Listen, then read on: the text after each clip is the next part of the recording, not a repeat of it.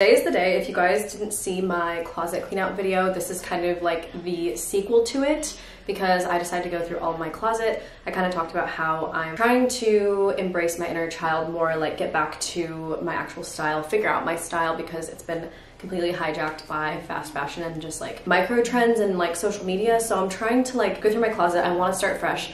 I'm eventually going to like make a mood board and buy new clothes, go thrifting, all that stuff. But in the meantime, I have all of these bags of clothes that I want to sell. I don't think I'm going to get through all of them today, but I'm just going to kind of take you guys through the process because I do a lot of like closet sales on my Instagram stories. I used to do Depop, but honestly it's just easier with stories. So if you want to follow me on Instagram because I sell clothes, I'm probably going to be selling these over the course of like a few weeks because I got a lot of stuff to go through. So yeah, I'm going to be taking you guys through the process of selling everything. So obviously we have a lot of stuff to go through. So I think the first step that I'm gonna do is go through all the clothes and kind of like, like sometimes I'll focus on just tops or just pants, but I usually kind of start with like the best stuff and then eventually what all of the stuff that doesn't end up selling, I'll try to take it to a thrift store to see if I can get money from it, like um, store credit. And then whatever doesn't sell from that, I will donate. So I'm gonna go through everything and kind of like pick the best of the best and start there.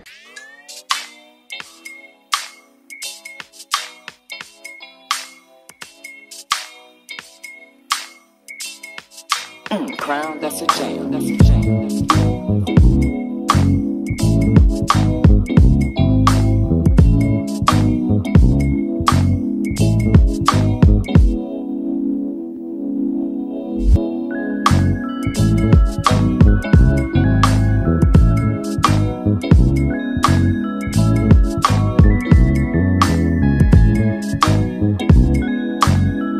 So I'm selling these jeans. I kind of divide the things that I'm selling. There's James just amidst all the clothes. So I divided it by like the pants and shorts first, just like within the pile that I've already created. And I'm also like, I'm gonna post just, usually like I do a mirror pick unless the thing doesn't fit me, then I'll just post it like on the ground or something. I figure out how much to sell them for. I take a photo, I post it on Instagram. Um, I tell everyone like shipping, and then I have to make like a notes app to organize everything. So I have to put in like whatever the item is, and then if someone buys it, how much I sold it for, their name and their address, which people will just DM me. So it's kind of like a lot where I'm like posting photos and then I mean, usually the stuff sells really fast. So it'll be like someone's already DMing me like after I've just posted it and I have to like tell people like, hey, sorry, this sold or like send people my Venmo. And if they haven't paid for it yet, then I have to like, I don't know. It's just kind of a lot. So anyways, let's get into it. Okay, I feel like this always happens, but I put these jeans on and James was like, wait, I like those. And then I was kind of looking at them, I was like, should I keep them? So I feel like this happens every time where I like decide I'm gonna keep at least a few things. So I think I'm gonna keep them. So moving on to the next item.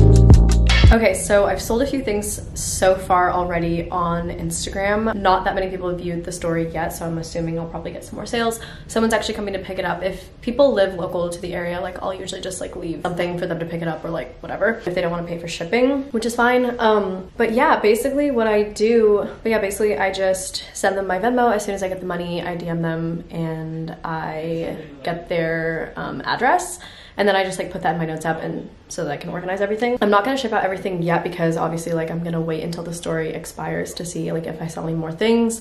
James and I are going to Palm Springs this weekend. Look out for the vlog, obviously. Um, and then I think I'm gonna ship everything out on Monday. So I'll have like a follow-up vlog to that, but I'll show you guys everything that sold so far. Hello, so it's the next day and I told you guys that I would show you guys everything that I ended up selling. I'm kind of surprised. I feel like normally most of my stuff gets sold, but there was definitely quite a few things that didn't. Um, I don't know if it's because of the winter time, because like all of the jackets got sold, but then a lot of the crop tops and none of the shorts sold, which kind of makes sense. Actually, that's why. One of the crop tops did. So somebody bought this little crop top. I think it's a Nasty Gal one. It's actually really cute. It's very like trendy, obviously. I just, I never wear it. I think I've worn it like one time. I also sold this like oversized vintage leather jacket. I sold this Target puffer jacket. I actually sold this to my cousin. I actually really love this jacket, but because I've been working with Free People Movement, and they send me stuff every single month. Um, I just have so many jackets now that I kind of need to get rid of some old ones to make way for the new ones I've been getting. I sold my beloved REI jacket. I got this for my birthday a long time ago. It's so cute. Like I love the colors. It's so warm and cozy. But again, I just have so many jackets like this from Free People Movement that like, you know, I have to at some point say goodbye to things. I also ended up selling this little patchwork top. I also think it's very cute, but Again, it's just one of those trendy things that I bought because it was a trendy thing and I don't really know if it suits my style. I sold this PacSun super fluffy jacket. I actually really love this jacket. Um, it's just, again, I don't have need for it but I do love it. It's actually like the softest thing in the entire world. And then I also sold this faux leather Sherpa jacket. I was really debating on keeping this one because it's really, really cute. And I don't really have kind of, I don't know what you would call this, like because it's not like a super casual jacket. It's definitely something that you could kind of wear if you were dressed up to go out somewhere that was cold. And I don't really own any jackets like that. So I'm kind of thinking I might get like a replacement, not the same type of jacket, but something kind of in that similar genre. I just feel like I need something that's a little bit more my style. And then I also sold this really cute romper that I had, but um, the person came and picked it up yesterday, so. So that is it for this video. I'm not gonna sell anything else today. I'm probably gonna sell some more stuff next week since I still have so many more bags to go through. But next week I will be filming the like shipping and packaging process because I told everyone I'm gonna ship everything out on Monday. So stay tuned for that. Thank you so much for watching and I will see you all in the next one. Bye.